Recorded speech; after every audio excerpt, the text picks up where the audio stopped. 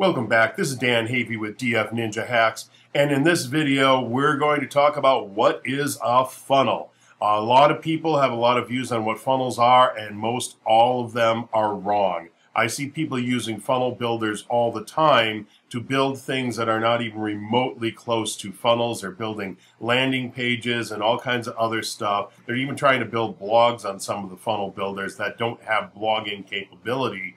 But today we're going to go through specifically my definition of what is a funnel. Then I'm going to show you what a funnel is not. And then I'm going to show you what a funnel is. And that funnel is the one that we're going to then build out over the next several videos. So let's take a look at what is a funnel. In my definition, a funnel is a linear process designed to convey a sales message where the single desired outcome is an exchange of value.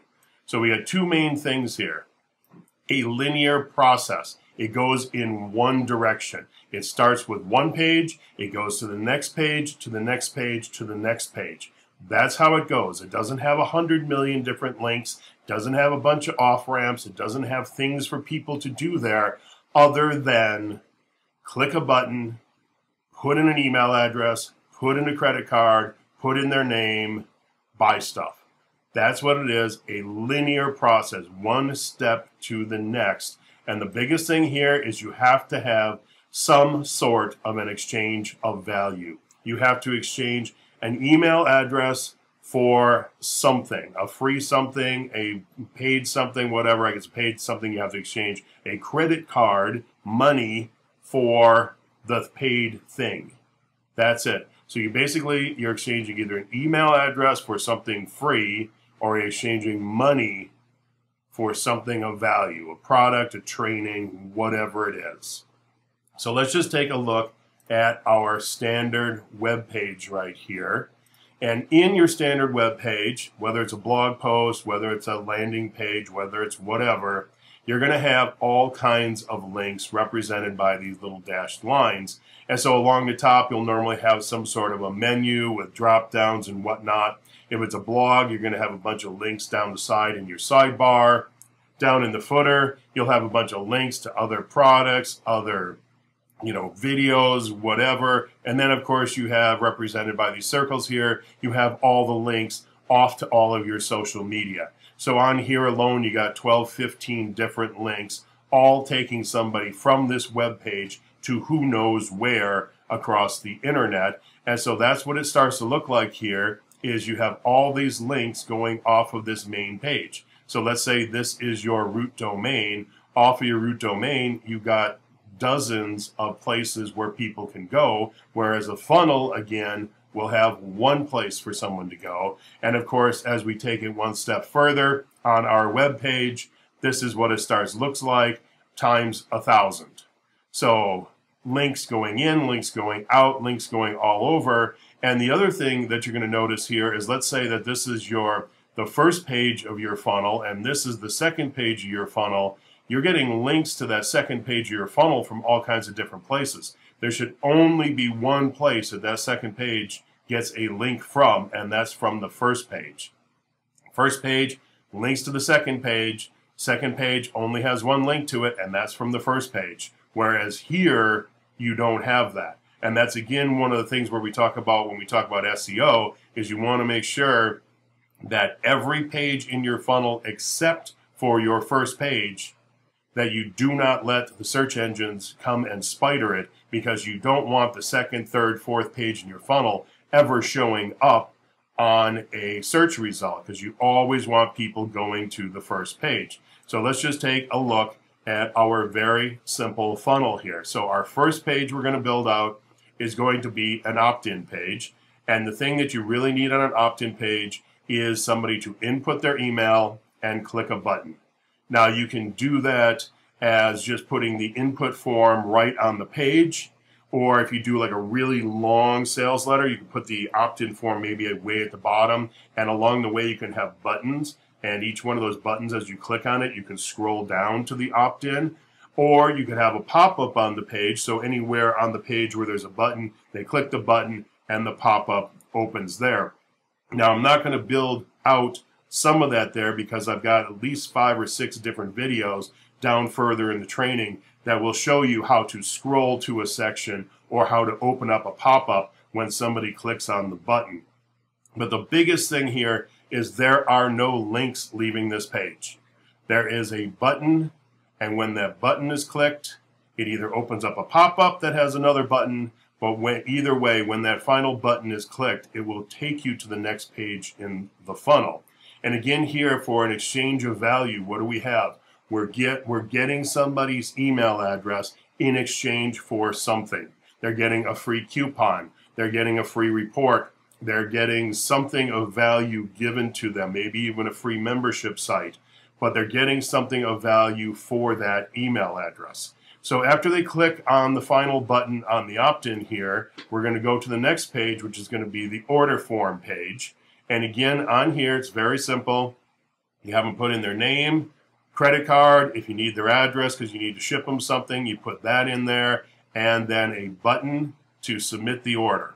And in this one here, I put down here, we need the checkout form. That is a specific form inside of DropFunnels. I should have said over here on the opt-in, we need the opt-in form too, but, um, or I forget what it's even called. It's not an opt-in form, but it's, it's close to that. But we'll go through that when we go through that training. But we need the checkout form on the order form page. That's the one specific thing. Anything else you have on there doesn't matter. You just need that one element, that checkout form. And then if you so choose, you could also put an order bump in there so that they can also click on that and add that order bump to their original purchase. Again, there is no link, and our exchange of value is whatever it is you're selling them for their money. They're putting in their credit card and they're giving you're they're giving you money and you're giving you you are giving them that thing. And the, big thing here, what is the purpose of the order form? The main purpose of the order form is to get the wallet out of the pocket. That is it. You got to get the credit card out of the wallet, out of the pocket, because that starts the process here. Because you could have several upsells and downsells after this. We're only going to build up one of each, but you could have multiple things going forward. And so it's at this point here we got to get the got to get the credit card out in order to start the whole selling process. So the next page then in the funnel is going to be our upsell page. And again, we just use the upsell downsell module right inside of DropFunnels. And I say down here at the bottom, there are no external links because technically in here, the yes link and the no link are both links. So I just want to make sure there was no external links, no nothing to your social media, nothing to a blog post, nothing else like that. So again, we set this up so that if somebody clicks on the yes link, because we're running this through Stripe, all they have to do is click on that link and it will automatically add it to their purchase over here that we set up on the order form. And if they don't want it, they can click on the no link. And of course, the exchange of value again is money for something. And so if they click on the no link, we'll just go to the last picture here. If they click on the no link, then they're going to come down here to the downsell. And then, of course, they have an option again of clicking on the yes or the no. In either case here, they're going to go to the confirmation page and on the upsell, if they click on yes, they again will go to the confirmation page. Now, like I said, you can string together a couple of upsells and a couple of downsells if you want. But for what I'm building, just our simple funnel here, this is what I'm going to build. So then you send them to the confirmation page. And again, you have to have one specific form on that page, and it's called your order receipt form. And that basically tells Stripe, it tells DropFunnels that the transaction is over. Once it sees that order receipt page, then it knows that the transaction is over and then can, can charge the credit card at that point. So on this confirmation page, you can call it a confirmation page, a thank you page, whatever you want to call it. Uh, but a lot of times what you want to do is you want to start the upsell process to the next funnel. So you can have on here an offer wall. So at the bottom, let's say you got three boxes and you say, hey, you may also be interested in these products and then you have three more products down at the bottom, and they can click on those and go somewhere else. Or you could have on this confirmation page, you could have a video on there, and you could just immediately go, "Hey, yeah, we here's the stuff, here's all the stuff you're getting, but you want to start watching this video right now because this video is part of your training." And then that video actually, when they click on the button in regards to the video, they're going to go to the next funnel. They're going to go to the next order form. They're going to go to another opt-in page, something like that. So think in terms of when you're on the confirmation page, think in terms of, okay, what else am I going to sell them? I got them hot. I got the credit card out of the wallet. They're in a buying frenzy. What else can I sell them at that point? And just keep the process moving forward. And then again, of course, on the confirmation, once they, once they get there, you're going to have your autoresponder send them an email and what's going to be in that email is going to be the information about the product that they bought how do they get the product? How do they get access to the membership site? Whatever information you have to give them. So that's it for this video. In the next series of videos we're going to take a look at first we're going to build out an opt-in page. Then in the next video after that, we're going to build out the order form and the products and all that kind of stuff. And I think we're going to do the upsells and downsells. And then on the last one, we're going to do the confirmation and then run through and show you how to test your funnel at the very end to make sure that it is working. So that is it for right now. If you got any questions, feel free to reach out. Have a great day.